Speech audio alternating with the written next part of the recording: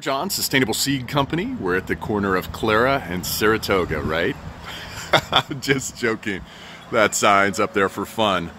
These are Tillandsias that I'm showing you here. Most people know them as air plants.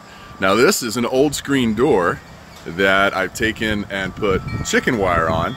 And then I have just taken literally clips here, laundry clips, and have the Tillandsias attached. Now they don't like full direct sun. Some do, but for the most part, morning sun like they're getting is just perfect. And let me pan down here and I'll show you. There is the tray of them I brought from the greenhouse. Perfect plants for the outdoors and for the beginner. Enjoy life and enjoy gardening.